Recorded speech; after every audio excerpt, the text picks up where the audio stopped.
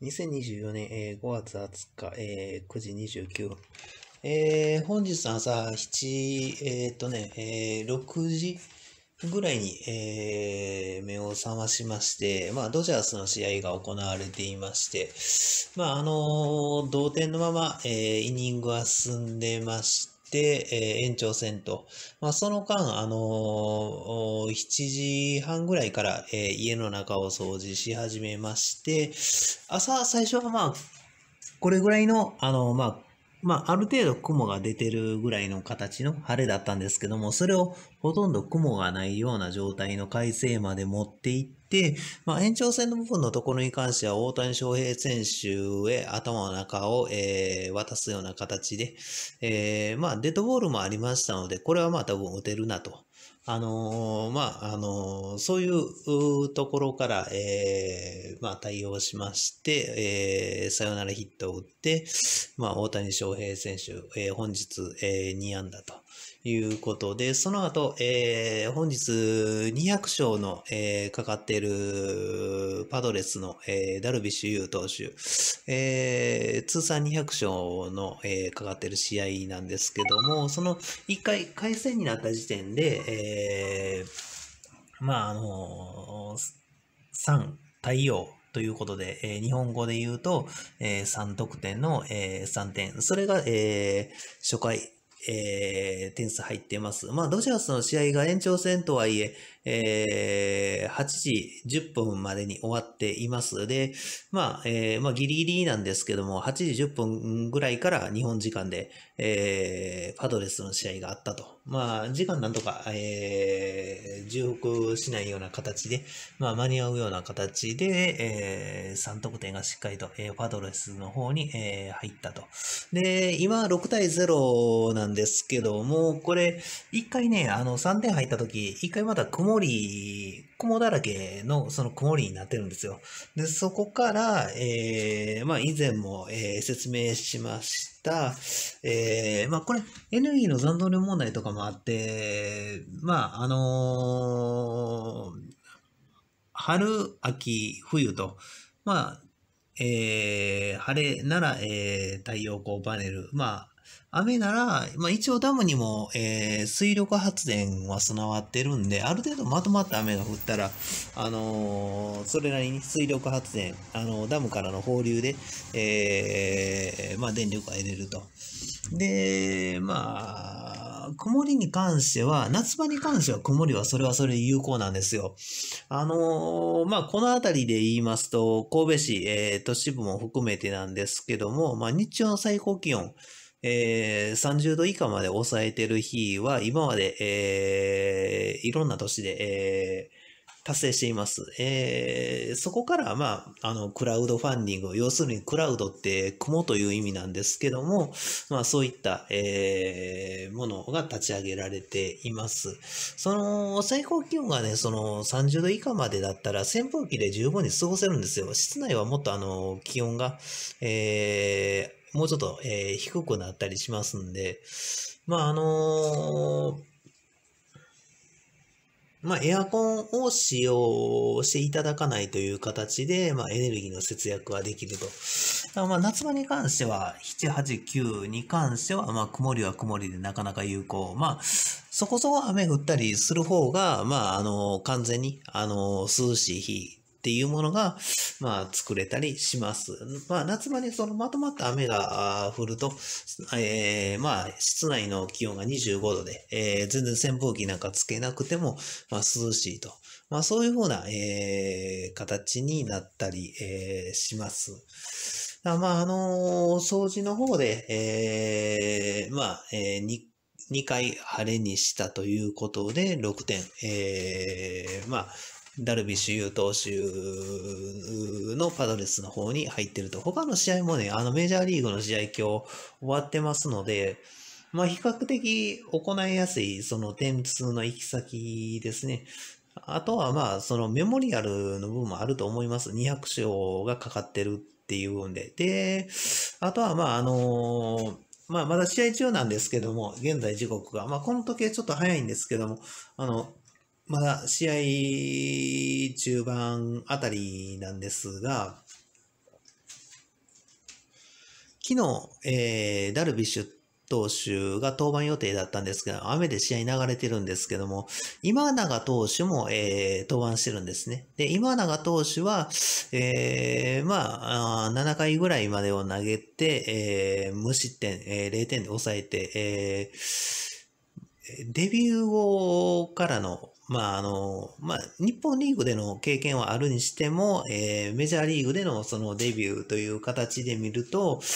開幕しての9試合での防御率は、えー、1914年以来の、えー、歴代1位という、えー、0点台という驚異的な、えー、先発陣としての防御率を、えー、達成しています。で、まあ、昨日の試合に関しては、まあ、今永投手の試合を優先的に、まあ、行うような形になっていたという解釈でいいかと思います。まあ、あのー、大リーグの試合が全て行われてていって、すべてがもし晴れになってしまうと水不足になってしまいますので、まあ、その辺のところが、あの、まあ、効率性の良さと、あと、まあ、えー、今年も、えー、台風の発生数はかなり抑え込んでいます。えー、この間アメリカの方で、えー、大雨、暴風による、えー、まあ、木が折れてる映像とかがあったんですけども、まあ、あのー、正直、もしかしたら、それが本当に、えー、その日に発生したものでであるとするのであれば、まあ、台風かもしれないなという気はしたんですけども、その、海外の災害ニュースって昔からあの、昔のものが結構流れてるんですよ。だから、あの、気象庁の発表するデータで台風の発生数が0なら0でいいです。あれは、あの、台風の発生数っていうのは世界、世界中すべてのエリアで、えー、発生した台風の数が、えー、表記されています。それは、えー、ホームページ淡井圭介の履歴の、えー、95番あたりにある台風についてのところを見てもらったら、一番上の欄のところに気象庁の発表しているその台風の発生数というところを見ていただいたら、えー、かります。あのー、まあ、テレビの放送の仕方としてですよ。私が昔から、えー、こういうふうに、えー、法に基づいて、えー、放送してくださいと。放送法にもよるんですけども、その防災に関する放送しなければならない。で、それに関しては、えー、ちょっとやそっとのことでは、えー、台風が来るっていうことを放送しないっていう形で放送してくださいと。なぜかって言いますと、それをしてしまうと、出演者の人たちがね、あの、台風が、まあ、あの、威力はどうこうみたいなことを言ってしまう。それによってコンピューターを通して見てる人たち、まあ人間にも神がかり的な力が個々に備わっています。で、それを聞くことによって頭の中で、ああ、そうなるんだと思ってしまうと、結局そうなってしまうんですよ。だからちょっとやそっとのことでは、えー、テレビで放送しないでくださいっていうことを言ってるんです。だからあの今年に関しては、あの日本列島には結局上陸はしないとは思うんですけども、ある程度の雨風が吹いてる内容のものは、まあ、関東地方の方でありました。だけども、まあ、台風としては扱っていない。で、被害は全く何も出てないんですよ。だから、これが本当はうまい、あの、テレビの放送の仕方で防災の仕方なんですよ。で、それは、えー、何年も前から安倍政権の頃から、えー、言っていて、そもそも1998年にあの、それは判明したんですよ。しっかりと。私が神戸市立ホテルフルーツエアパークで働いているときに、世界中の政府上層部の方たちとか、えー、まあ、なる人様や、えー、雅子様が公式会見を開いたりだとか、あの、世界中の政府との、あの、ハワイケースケを通しての、えー、パイプが出来上がっていたと。で、まあ、あの、神がかり的な力の部分の解明のところで、まあ、天気を含めて一日の、えー、長があると。まあ、いろんな人たちのデータを集めて、まあ、教えていただいて、総合決算、最終的に自分で、えー、こうするべきだというものがありまして、えー、1998年に年間の台風発生数が14個か16個ですね。それが歴代戦後最小ですね。だと思います。もしくは、えー、2008年ですね。2008年ぐらいの頃に六法全書、えー、再び買ってか、まあ、新しく買ってか、まあ、二十歳ぐらいの頃にも自宅に六法全書がありましたね。父親も六法全書を広げていた方なので、もしかしたら父親の持ち物だったかもしれません。ちょっともう、だいぶ昔の話なので、えー、記憶は定かではないんですけども、まあ、2008年とにもかくにも六法全書購入、まあ、それぐらいの時期に購入して、でえー、まあ、あと、新聞に関しても、えー、全国紙、五紙、長官有刊に、えー、畳を通していた時期で、まあ、昔からあのスーパーコンピューター系富学が神戸市にあって、えーまあ、芸能界、まあ、テレビ局自体を、まあ、その1997年、8年、フルーツラーパーク勤務時の頃に、まあ、成人様たちに、あのー、気に任せるという言葉をいただいているんですよ。まあ、それありきで、えー、国会議員の人たちとかも、まあ、僕の意見とかを聞いてもらって、えー、様々な税金だとか、そういったことをすべて総合して、えー、優勝回数を揃える話だとか、えー、日米の友好関係だったりだとか、まあ、あのそういったところ、えー、含めて、えー、動いています。ですので、もともと実績のある、えー、日本のピッチャー、えー、ダルビッシュ有投手も、まだパドレスというチームはワールドシリーズの優勝がないんですよ。だから、あのまあ、甲子園の頃から、えー、活躍していた松井投手、松井裕樹投手ですね。えー、もともとは、えー、楽天だったと思うんですけども、まあ、高校、その当時、高校のその甲子園での奪三振数が歴代1位、えー、を更新した、まあ、名ピッチャーなんですけども、彼もあの甲子園のマウンドで、えー、未来の時間軸からの僕の声とかを聞いたりしてる方なんですよ。で、絶対あの人であると。ね、淡井圭介さん。の、あのー、声であるということを、まあ、マウンド上でも確信して、えー、ボールを投げていた。えー、この仕組みはよく分かっているものだからこそ、まあ、良い成績を上げれているという部分があるんですけども、要するに日本からの助っ人なんですよ。その、パドレスさんへの。まだワールドシリーズの優勝がないという部分で。で、まあ、ダルビッシュ有投手や、えー、まあ、中継ぎもしくは抑えで、えー、かなりの実績のある松井投手が言ってると。まあ、これによって、えー、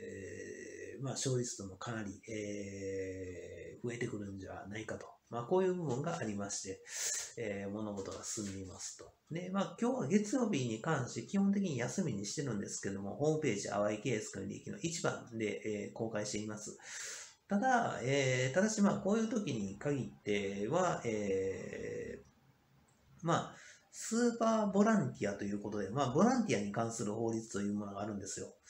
まあ、あの、労働基準法などによって、休みは一月に4回は絶対取得しなきゃならないんです。ただ、休日の日に何をするかは自由なんですよね。で、えー、その月曜日の日に関しては、えー、まあ、自分の対象等で、えー、無理のないところで、えー、ボランティアというような形で、えー、本日、えー、対応させていただいています。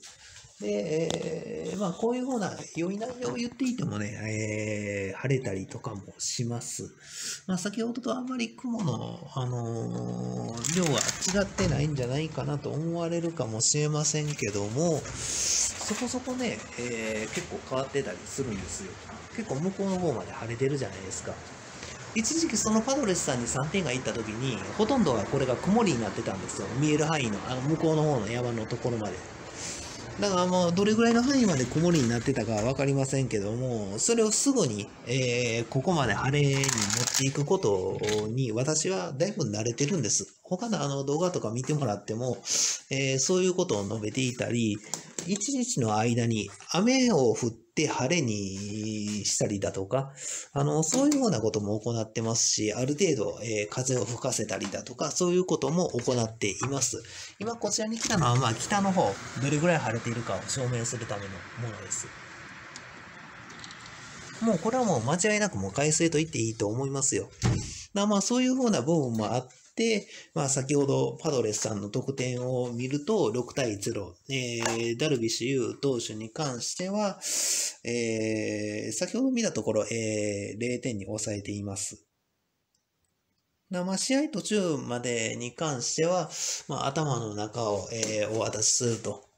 えー、コントロールを中心にと。まあ、そういうふうな内容で、えー、進めています。で、まあ、あの、もともと野球界とかでも、あの、まあ、例えばこの間、大谷翔平選手が13号のホームランを2024年、えー、打った時なんですけど、その日ってお父さんの誕生日なんですよ。だから、あの、自然とまあ、そういう時に、あのまあ、お父さんの頭の中は言ってるのかもしれませんけども、まあ、誰の頭の中は言ってるかわからん、わかりませんけど、まあ、もしかしたら僕かもしれません。だだけど、まあ、あのー、そういうふうに、あの、メモリアル的なところで、えー、そういうふうな効果が、えー、発揮されるという現象は、もともと、えー、プロ野球界であります。やっぱりこれは、どこかでこう、何か、えー、良い話、えー、というものがあった方が良いと。えー、ちょっと待ってくださいね。えー、っとね、ちょっとその今大リーグの方のその速報で、今何対何か、その証拠があった方がみんな、皆さん分かりやすいと思うんですよ。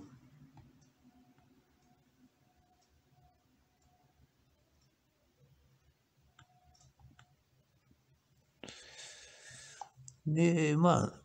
えー、流れ自体は完全にパドレスに来てますね。えー、っと、今、パドレスの速報で見てるんですけども、画像ばっかりが出てきてますね。打ち込んでるのはパドレスの速報って書いてるんですけども、まあ、こういうふうな現象もね、えー、なかなかあって、ちょっとまあ、こう、パドレスの、ちょっと待ってくださいね。試合と打ち込んでみますね。試合、速報。えー、っと、ああ、すべてというところになってなかったみたいですね。えー、画像というところに、えー、まあ、カーソルが来てたみたいですね。えー、まあ、ダルビッシュ速報でも出ますえ、ちょっと待ってくださいね。スマートフォンの方には、あの、一級一級、あの、どうなってるのかっていう、あ、今、さらに、あの、得点が加えられて、パドレスが8対0でリードしてますね。えー、まあもうこうなったらもうほぼほぼ、えー、試合は、えー、パトレスさんの勝利でまず間違いないかと思います。まああの先ほど言いました通り、強力な、えー、投手陣、えー、松井投手もいますから、やっぱりまあその辺のところ、なんかまあ昨日雨で試合が流れたっていうのはかなり大きいですね、パドレスさんにとって。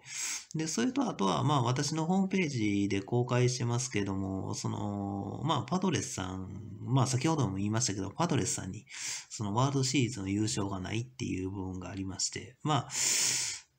同じ地区のところで、そのドジャースさんがいて、まあ今、首位を改装していると。まあそれをまあ追いかけるような形でパドレスさんと。で、まあ今のところ僕の頭の中で描いてるというか、まあそうなんじゃないかなというところで、えー、まあ、地区優勝ドジャースさんが勝った場合、まあお互い勝ち上がってきたときに、あのー、まあパドレスさんとの試合になった時に、その、まあ、ドジャースさん地区優勝したじゃありませんかと。まあ、そういうふうな話の持っていき方もあるんじゃないかなとは思うんですよ。ただこれは、あの、去年のワードベースボールクラシックがこう、優勝した時に、その、僕は大谷翔平選手に、その、ワールドリング、要するに、えー、メジャーリーグの、その、まあ、プレイオフ、その後の、えー、ワードシリーズの優勝をした時の、そのチャンピオンリングですね。そういったものを、まあ、大谷翔平に、えー、取らせてあげたいと。まあ、そういうことを言ってたんですよ。まあ、それで、まあ、山本、オリックスの、えー、山本由伸投手も、そのドジャースへ、まあ、行ってくれてと。で、あとは未来からの時間軸の声掛けで、えー、能登半島の地震、えー、震度6強、えー、発生していると。被害は甚大であると。まあ、そういったこともあって、まあ、ドジャースさんは、その観客入場者数が多いんですよ。で、まあ、売り上げも結構ある方で、えー、まあ、あのー、まあ、山本由伸投手と大谷翔平選手が行くことによって、まあ、ドジャースとしても、ね、球団としても、えー、まあ、優勝が近くなると、まあ、貢献できると、日本人として。で、まあ、能登半島の地震に関して、でまあ、大谷翔平選手からあの1000万寄付するような形で世間では公開されてますけども、まあ多分ドジャースとして、まあ1000万円というお金を、え出していただいてるんだと思います。まああのこの手の話に関しては、えー、まあそういうふうな、えー、被災地への、えー、寄付活動を行ったところのチームは、良い結果が、えー、出るようになっています。あとは、それと、あのー、昨年のそのワールドシリーズのまだ優勝してないチームで、えー、レンジャーズというチームが、えー、西地区にありまして、えー、そこが、えー、優勝できています。あのー、それは強く大リーグの方にも、えー、私の方から申し上げてまして、あの、ワールドシリーズまだ優勝したことのないチームは優勝するべきであると。まあ、こういうふうなことを言っていて、えー、まあ、チャップマンなど、えー、名のある投手、あの、今まで、えー、素晴らしい実績を持たれた方たちが、えー、まあ、あの、レンジャーズの方に集まっていただきまして、えー、優勝に導いてると。まあまあ、あの、ワールドシリーズ、ワールドシリーズの試合本番の時のその時間帯、その、まあ、他者からこう何か言われたり、その、足を引っ張るような行動でこう繋がってこられたりすると、あの、選手にどうしても影響があると。だまあそういった分が一種呪いのようなものであるんですけども、試合中、それを私の方が被って、えー、まあ選手の方が自由に動けるような形に、えー、レンジャーズの方たちをそういうふうな、えー、対応をしていました。だからまあ、あの、その映像、えー、記録して、えー、僕のホームページから見れるようにしています。で、えっ、ー、とね、それはね、ホームページ淡井圭介の利益の100番台のところの、そのメジャーリーグ関係のところを見てもらったらわかると思います。まあ、各欄によってメジャーどうこうみたいなことを書いているところがあるんですけど、そこからアクセスできると思います。あの、呪いがかなり体に来てるときは、まあ、あの、うん、まあ、危ないかもしれませんので、まあ、もう布団の中でもうおとなしくしてました。まあまあ、あの、そういうふうな応募もあります。一番強烈に選手の力を発揮させようと思ったら、まあ、あの、基本的に僕は頭の中を貸してる状態の時っていうのは、その日の自分を、あの、いろいろと練り上げてる状態であって、まあ、法律も使用していて、まあ、選手と繋がってるから、他者からのこう何か妨害されるようなもの、要するに呪いみたいなものは来ないと思うんですよ。で、ただ、そこをもっとうまくしようと思ったら、複数の人数を使用して、例えば、えー、今日の試合、今まあ、例えばパドレスさんの試合、パドレスさんにこう来るような呪いはこちらの方で引き受ける人間。方や、まあ私の方で、まあ頭の中を、えー、お渡しすると。まあそういうふうな、あのー、方法、えー、二重三重の方法を用いることによって、さらに、えー、勝利する確率は飛躍的に上がったりします。まあ、あのー、まあ、メジャーリーグの関係者だけじゃなくて、えー、まあ、ファンの人たちなどもですね、その、頭の中を貸す方法だとか、あの、貸すというか、まあ、お渡しするという形ですね。まあ、それを試合終わってから、あの、取り戻す方法っていうものを知ってるものじゃなかったら、これはかなり危険なんですよ。あのー、最近、まあ、パリオリンピックが近づいてきて、えー、パラリンピックの放送もしていて、まあ、ちょっと思い出したんですけども、あの、ボッチャという、まあ、あの、おじゃみ、日本でいうおじゃみというような、えー、ああいった、えー、お手玉のようなものをこう投げて、えー、得点を競い合う競技あるんですけども、そのボッチャの杉本選手を金メダル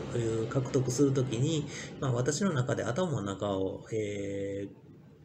まあ、渡したりだとかしてたんですけども、その杉本選手は脳性麻痺の選手なんですよ。だから、その間、あの、頭を渡すというよりも頭を交換してるような形に近い、えー、さらに上乗せで、彼が負荷を負ってる部分の頭の脳の痺れっていうのは私の方に来ている。で、えー、さらに腕も不自由であるということを聞けば腕の力も、えー、お渡しすると。まあそういうふうな形で、まあ金メダルを獲得してるんですが、もう圧倒的な強さで。で、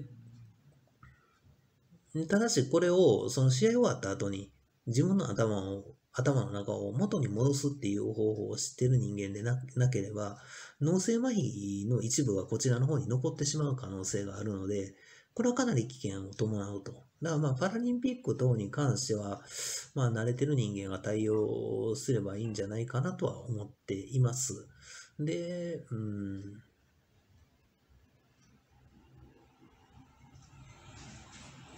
まあ今日、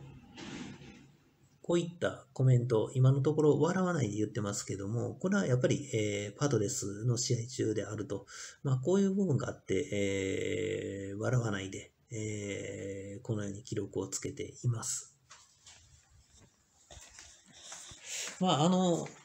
かれこれ動画の撮影を始めて、えー、20分ほどになりますけども、外の雲の様子を、えー、さらに見てみましょう。もっとなくなってると思いませんか？ですよね。どう見てもそうですよね。これが、あのー、防災特化型の、えー、まあ、防災特化型台風消滅側が神がかり的な力の世界の中では最強と言われているゆえんがこれなんですよ。どれだけ多くの皆様の役に立ったか、まあ、防災ですね。台風でも、あの、大きな災害の時は、えー、何万人もの方が、あの、死者としてお亡くなりになられてるケースっていうのは、ここ近年でも海外で起きてるんですよ。ここ10年ぐらい前を遡ると。まあ、昔からそうなんですよ。大分改正です。先ほどよりも。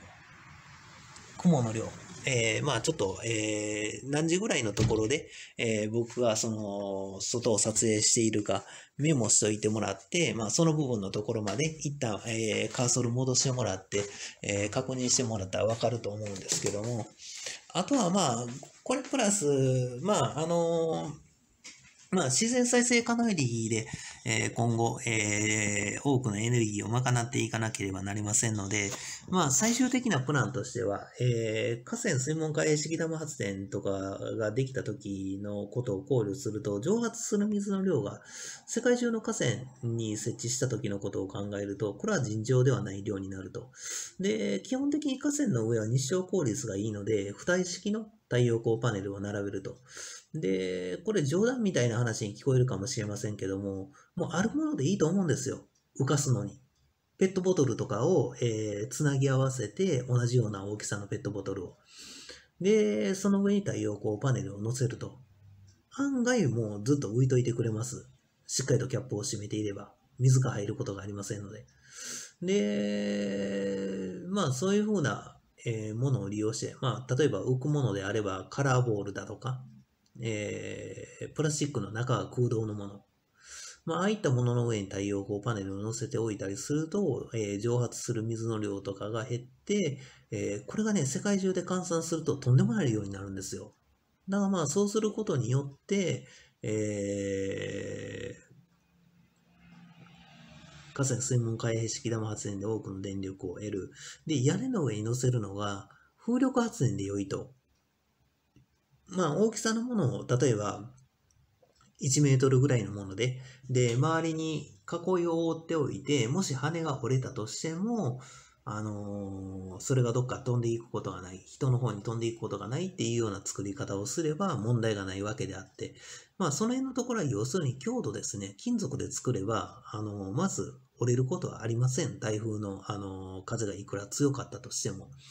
で、あとはその辺のところはギア比で調整すれば、ある程度の風の量でも、えーまあ、微弱であったとしても、えー発電ができると。なんか屋根の上に乗せるのは、本来はその小型の風力発電であって太陽光パネルじゃないんですよ。だから河川水門海式玉発電がもっと、えー早急に進んでいれば、えーまあ、付帯式の太陽光パネルが今頃、えー河川の日照効率の良いところに、えー敷き詰められていると。まあ、河川の面積は日本中トータルするとものすごい量になりますから、まあやっぱりそこは日照効率の良いところを狙って、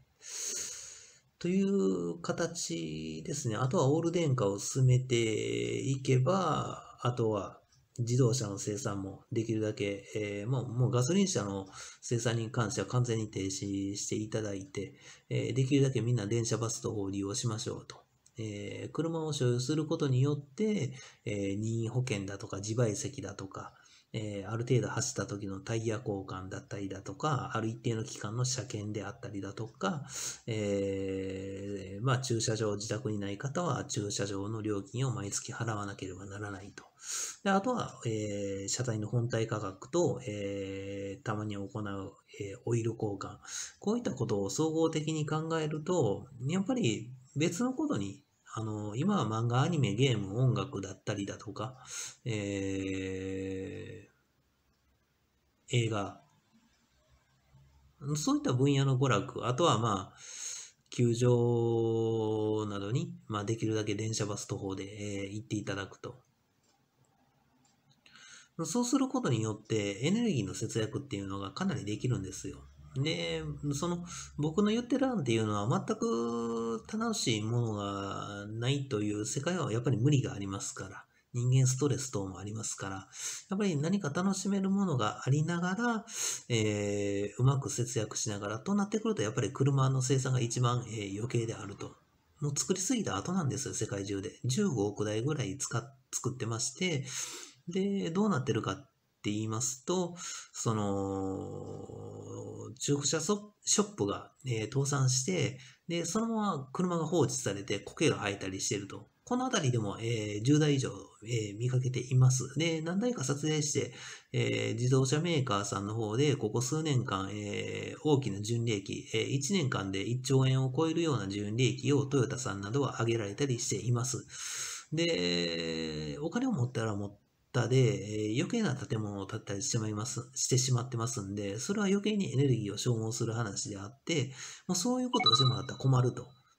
もう何兆円もあの余剰金を持っていますから、あの、従業員の方たちに今何をしていただきたいかって言いますと、その、車の不法投棄っていうものが、これが結構あるんですよ。河川の撮影とかをしに行った時に、例えば河川沿いとかを歩いていて、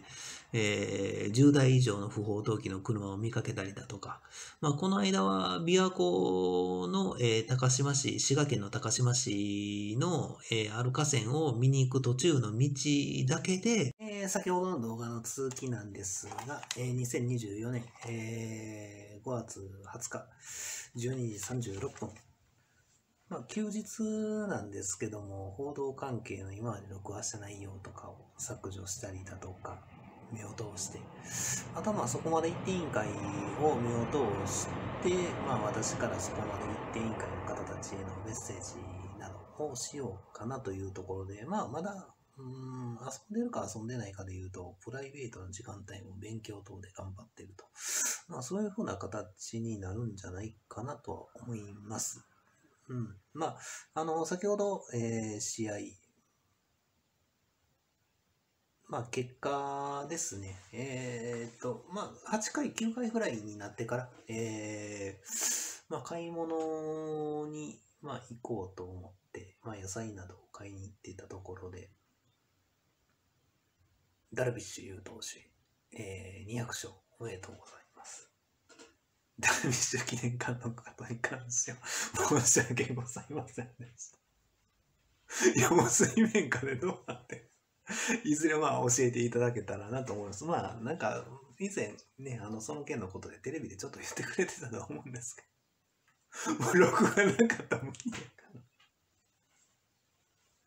まあ今日はね、えー休日ということで、まあこういうふうな、えー笑いながらの会話を交えながら、ー試合が終わった後ですか、メジャーリーグの試合も基本的に他も終わってたはずだと思うんです。確認したところ。まあ私の確認ミスがあったかもしれませんけども、確かそうだったと思います。で、うん。松井裕樹投手が投げたかどうかとか、まあ、YouTube の今日のその試合とか、あの動画が上がってきたりとか、スポーツニュースと、スポーツコーナーとニュースの、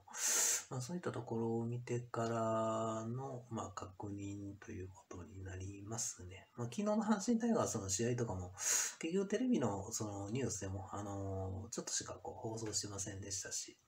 うん、まあ、他の球団もそうですけども、まあ一応見てみたいなとはいう部分はあるんですけども、うん。まあ今回プロ野球の皆さんへのメッセージということですので、ソフトバンクの件を今まで何回か申し上げてますけども、ここぞという場面でね、柳田選手が打っちゃうんですよ。本当に。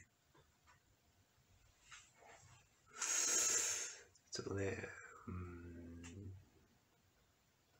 うん、なかなかね、ちゃんと場面に適応した、こう1点を争う場面、大きいのを狙わない、しっかりとヒットを打つっていうさ、なかなかちゃんとした、あの、しっかりとした野球を、あの、バッティングをしてくるっていう、またかと。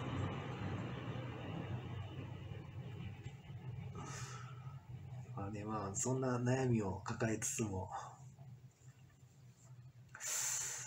何か、まあ、いろいろ対応していきたいなとは思っています。まあ、試合が今日、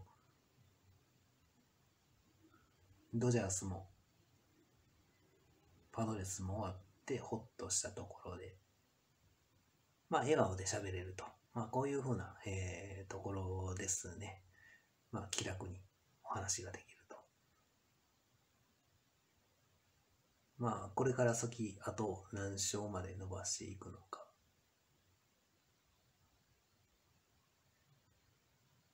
正直、まあ僕の対応のとかもかなり大きい部分あると思いますね、やっぱり。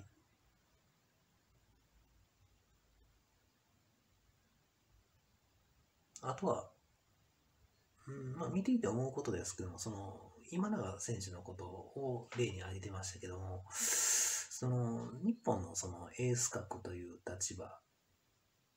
という形で扱うと、その、日本人同士のその先発の人たちが同じ日付の同じ時間帯っていうのは、やっぱりちょっと具合が悪い。で、えー日にちがずれてるのが一番いい。時間帯が大きくずれてる場合は、まだなんとかなるかもしれませんけども、うん。一瞬言おうと思ったら、はっていう声が聞こえてきたんですけども、あの、千賀投手のことなんですけど。多分コンピューターが気を使ってると思うんですよ。増やしたら増やしたら僕の負担が増えるっていう。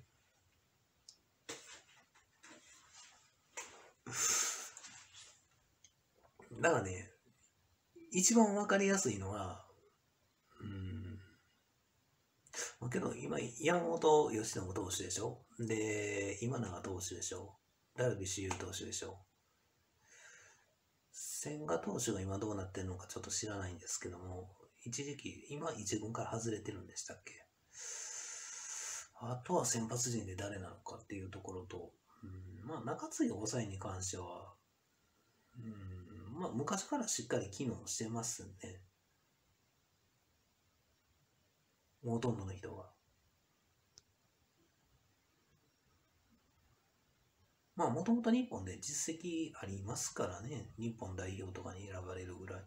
だからまあ、アメリカもレベルが高いとはいえ30球団ですからね。そんなに、あの、うん、そんなにというよりも、差自体がないんだと思うんですよ。こちらは12球団に絞ってますから。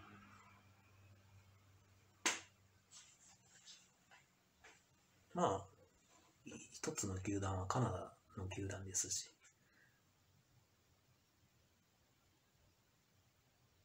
まあ、その辺のところですね、先発のローテーション。だから、翔平がピッチャーをし始めたら、まあ、そのあたり、先発のローテーション、あの、うまく日本人同士でずらせれるのかどうか、まあ、その辺のところは、うん、屋根があるないで変わってくる部分もあると思うんですよ。やっぱり雨降る、遠網ずらせる、それによってという部分ですね。で、ある程度雨降らなかったら大変なことになりますから、去年も日本が、日本が、うん、まあ、阪神タイガースの日本一と、ヴィッセル神戸の日本一頑張ってた部分等があって、去年はね、あのー、比較的日本全国的に降雨量が少なかったんですよ。で、今年は今のところ降雨量そこそこ雨降ってるんですよ。で、晴れた雨がはっきりかなりできていて、かなり都合のいい雨ですね。優しい雨で。河川の氾濫とかにつながらなくて、そこそこ雨降って、雨は雨で、その水力発電で、電力発電できてる。で、昼間に関してはできるだけ、まあ、昼間、まあ、それなりの日照効率結構あります。太陽光パネルの方ですね。だからまあ、うん、基本的に夜に雨を降らせるというその考え方で、大体の地域、ほとんどの日ができてるんですよ。多くの地域で。特にこの辺りは多いですね。もともと雲をこう広げて空間作って晴れでまたその後圧縮していく。それで夜にまとめてきて、えー、雨降らす。まあこういうふうな仕組みですから、基本的に。まあの、天気の予想図とか、西から東に流れていくときとか、兵庫県よく見といてもらったら面白いですよ。野球の時間帯、雨降らないですから、その日勝ちに行くぞ。甲子園。特に甲子園だ、その南の方。だから、あの、北の方が雨降っていたら、ダムに基本的に除水しなきゃならないじゃないですか。ある程度河川のところとかにも、その、そこから浄水場とかがあったりとかもするんですけども、まあ、そういうふうなね、えー、部分。やっぱりまあ台風消滅型による、まあ、都合の良い雨。まあ今年もアメリカはどうなんでしょうね。今のところ何かこう、水不足のようなニュースは聞いてないんですよ。なやっぱり基本的にね、うん、まあエアコンの件もあるんですけども、まあ本当ドームは作るべきじゃないですね。だまあ西武ライオンズのようなドームは、うん、まあいいんじゃないかなとは思ったりする時もあります。まあ甲子園は正当性なああいうスタンスですね。ドームにしないっていう方向性ですね。今、ダルビッシュの声、震えるっていう声、割れたっていう声。聞こえてきたんですが、それ、もう、絶対日本ハム、日本ハム、日本ハム。ドームの近くにドームつく。これ真面目な時の僕だったら絶対めちゃくちゃ怒りますから。で、その二つ目のドームを作ったところの北広島市っていうところ。また名前がややこしいでしょ。広島県かと思うでしょ。人口見たら6万人いません。で、えー、大体表記してる人口の大体どこでも3分の1か4分の1です。札幌ドームがあるじゃない。エネルギーの残存量問題。一応ね、一応中田翔とかはね、その辺のところ言ってくれてたんですよ。本当は建設費用とかお金がかかるからとか、あのエネルギーの残存量問題があるからとか、一応ね、エネルギーの残存量問題を言ってくれてたか、僕が伝えて言ったかのどちらかなんですよね。だけどもね、やっぱりまあ、一選手からでは経営陣を動かすことができなかったりだとか、まあ、法的知識とか、いろいろ、うん、そういったところもあるんでしょうけども、エネルギーの残存量問題なんですよね。結局それを覚えた方が早いっていう簡単なところで。僕は若い頃で69年分石油の技術的採掘可能埋蔵量が2011年に、えー、59年分、えー、2022年に、えー、54年分先々まで掘っていく分を計算に入れての数字なんで、まあ、なかなか絶望的な状況からの巻き返しというところなんですよね。だからま、まあ、無駄な工事を世界的に、まあ、やめるだけで、えー、原油の消費はかなり減ります。で、あとはスポーツ業界、まあ、オリンピック業界の解体、商業原理に合わせてスポーツ振興法を、えー、撤廃する。まあ、それだけでスポーツ界のかなりの部分は消滅します。で、J リーグも2リーグ12球団制、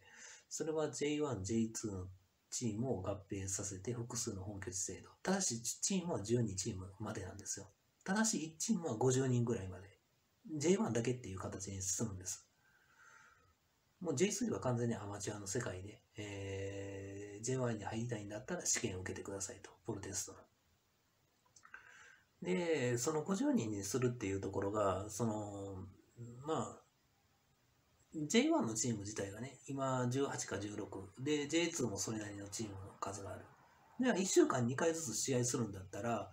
両方合併させたときに、同じチームが1週間に4回試合できるわけじゃないですか。で、50人ぐらい所属していれば、カールがある。あまあ、まあ、中3日ぐらいなかったら正直サッカーの世界きついと思いますよ。あの、かなり走りますから。だから、カールがあるメンバーを入れ替えて、だからまあ全員野球に近いような形の、あのー、まあ全員サッカー。普通に考えたらそうなんですよ。すごく走ってる方が、あの、チームとしては優位的になりますし、もう息が切れてきて、もう走れなくなってきた選手から交代っていう方が本当は効率がいい。まあ、無駄なファールとかのイエロー、レッドっていうものは不必要になってくるっていう話になってくるんですけども。まあ、これはエネルギーの残存問題で、まあ、その辺のところもなんとか、うん、裁判所で決着つけたいんですけどね、J1、J2 合併させて2リーグ、12球団、崩本拠地制で、南から北に向かって巡業、最初の方は暖かい地域から。そうでなかったらお客さんが持ちこたえられない。で、うん、まあ、試合に出てないメンバーとかの人たちが、その、例えば春先とかでしたら、熊の方で畑。まあ、ある程度田舎の方にもスタジアムがあるわけで、まあ、そういったところをうまく活用しながら、トラクターを使用しないで、畑を耕したりだとか、まあ、河川水門海式ダム発電とかの、まあ、河川の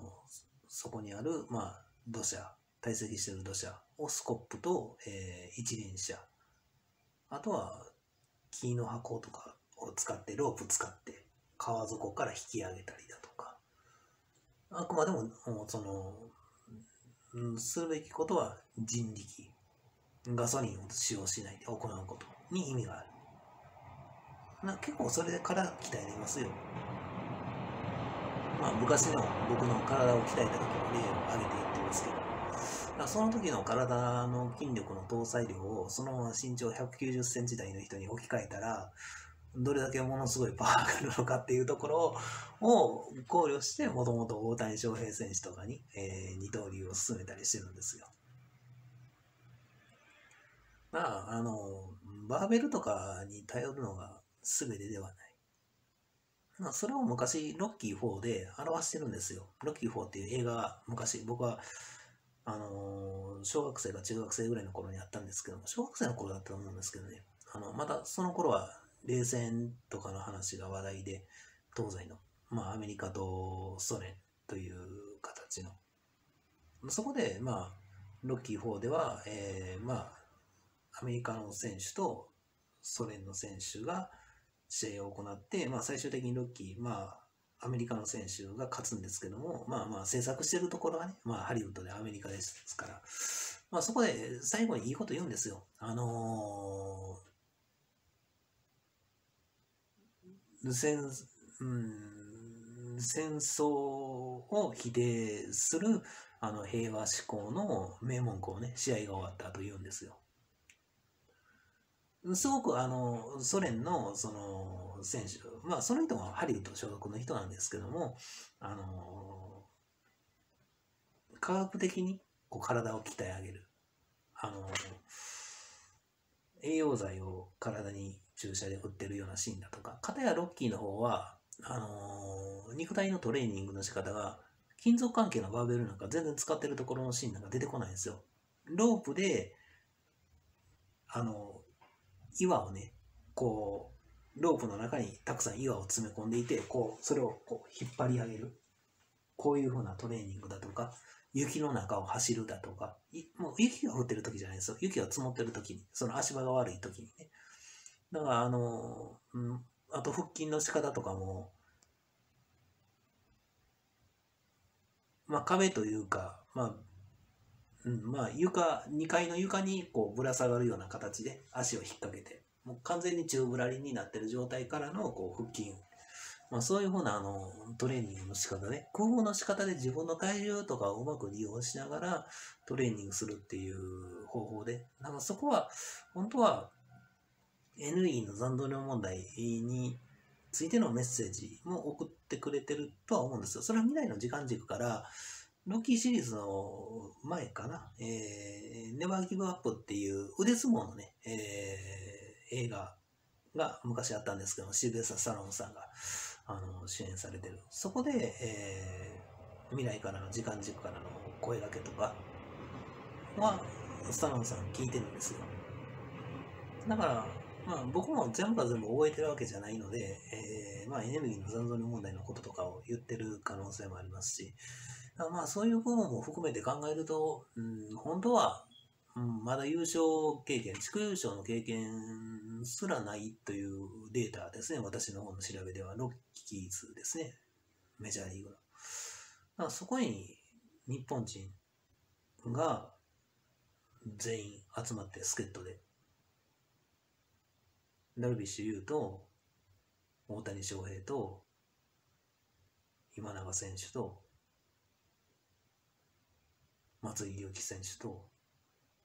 鈴木誠也選手あと他にも誰がいましたっ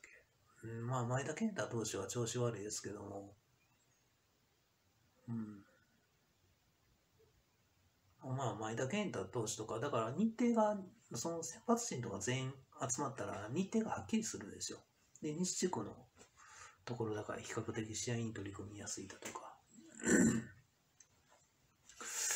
まあうん、全員行ったら、それは違うでしょうね。それだけのメンバーが行けば。ほとんど日本代表の選手、しかも現役の者たちが半分ぐらいは占めると。そして残りの半分は元日本代表というメンバーで。それはまあそこまでしたら、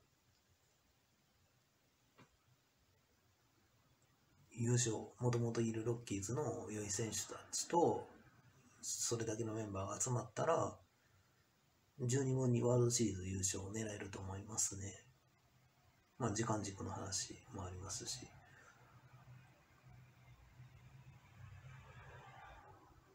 だまあそこは経済原理が実質的なところがあって、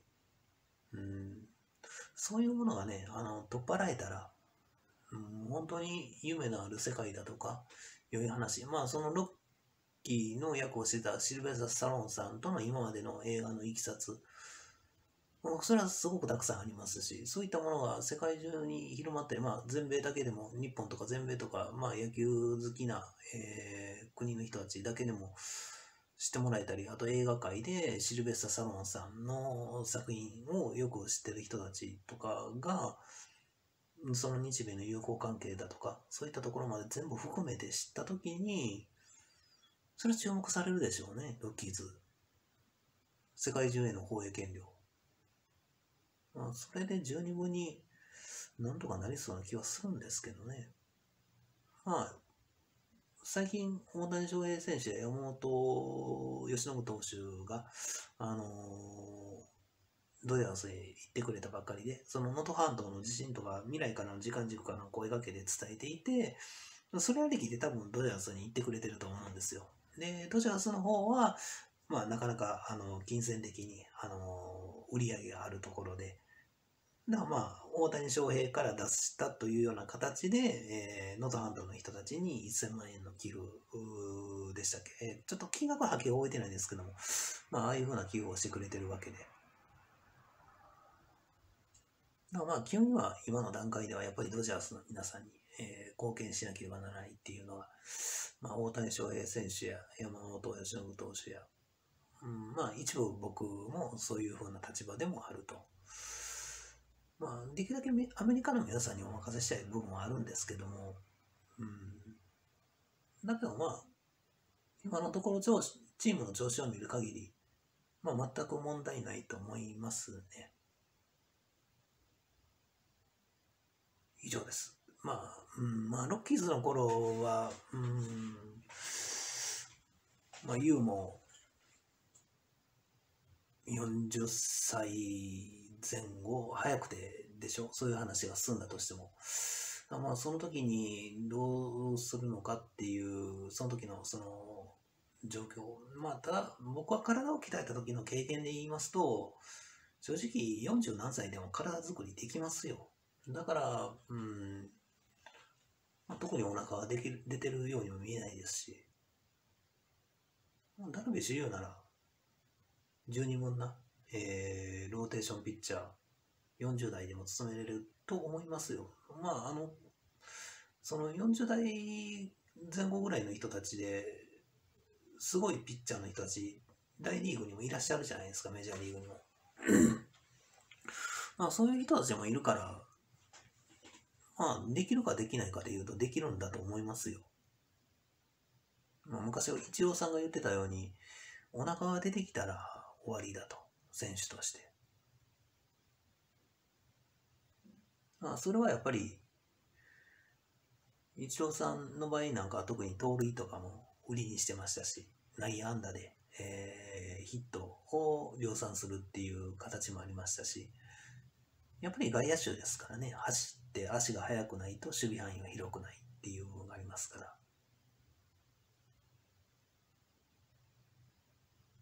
まあそういうふうなことも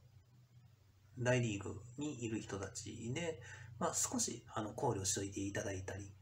あそのあんまりその、うん、息子さんとかはね、その、ダルビッシュ有もいずれ日本には帰ってくるでしょうし、その、アメリカに居残りっていうのも、きつい人はきついでしょうし、日本は少子化ですからね、極端な。まあ、できるだけ日本にはほとんど日本人の人は帰ってきてほしいんですけども、ほぼ全員帰ってきてほしいっていうのはまあ僕の考え方なんですけども。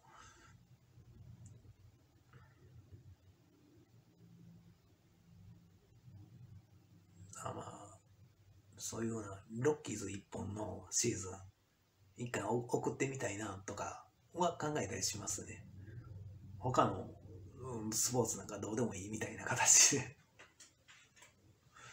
その辺のところがね、あの、僕があんまりお金にとらわれてないとこ、もうその、その方やね、あの、河川水門返してきてませんとか早く進めなきゃなんないから、お金かき集めて向こう側ぐらいもう自分で作ったりぐらいの考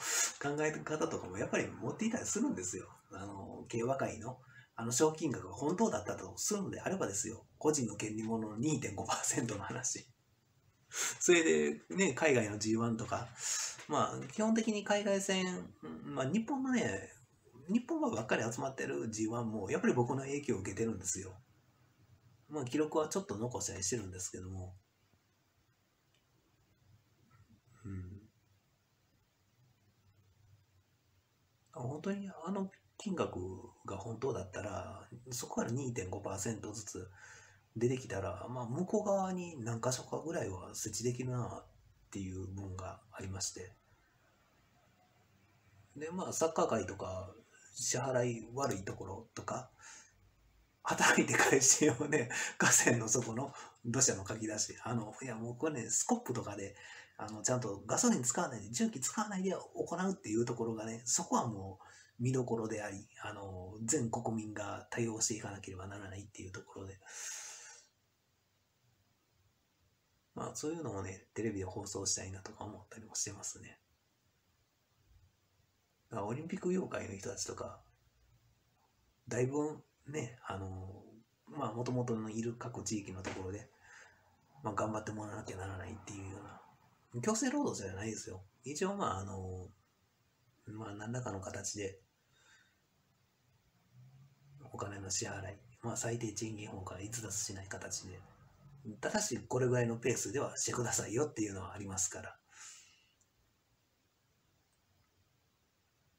まあ、そんなことをね、えー、いろいろと考えてます。えー、今日も長々とご清聴ありがとうございました。あんまり長くなると、まあ、今まだシーズン中ですし、あの、負担になってしまっても困りますし、まあ、移動中とかの時にでも、あの、見てもらえたらなと思います。というわけで、今回はダルビッシュ有投手の、200勝達成おめでとうございます。それとあとは、まあ、プロ野球業界。まあ、今の日本の若手の人たち、プラス、その、メジャーリーグにいる人たちで、その、ロッキーズの話ね。本当にレンジャーズの方も、あの、チャップマンとか言ってくれましたからね。メンバーだいぶ固めて、セミン選手も、えっ、ー、と、レンジャーズの方に行ってくれたんでしたよね。あの、セカンドの選手として、歴代、その、ワンシーズンで打ったホームランの数が、えっ、ー、と、48本でしたっけ？えー、セカンドとしては過去最高の選手なんですよ。だから、そういう、もともと実績のある選手が集まったらやっぱりそれだけ結果も出ますし、だからそういうロッキーズの話、まあタイミング的には僕の話が世間に公になってっていうタイミングでしょうね。だからもう僕の話がテレビで放送をされるようになってきたとしたら、あ、もうそろそろだな、ロッキーズ行きはっていうような話になってくると思います。だからまあ、いろいろ話が進んだ時に、アメリカの方で、アメリカの企業さんの人たちとかがどういうふうな形で協力してくれるのか。だからそこは、先ほどの僕の今までの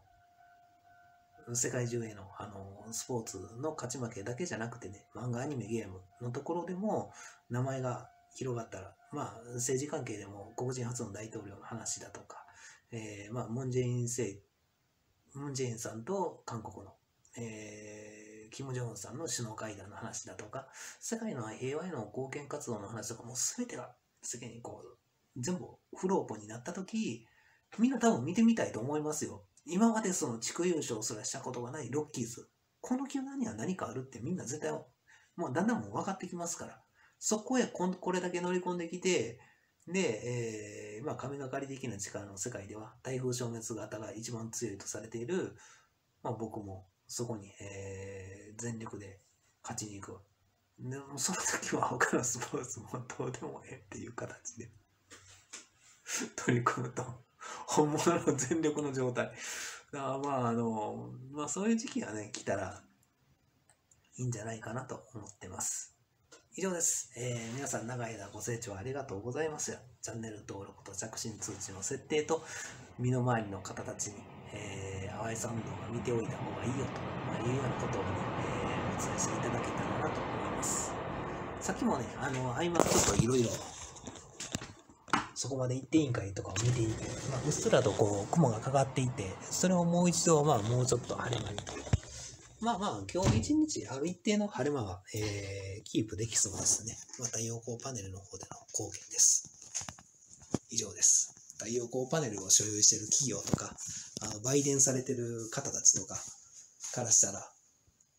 まあ、ありがたい存在でしょうね。以上です。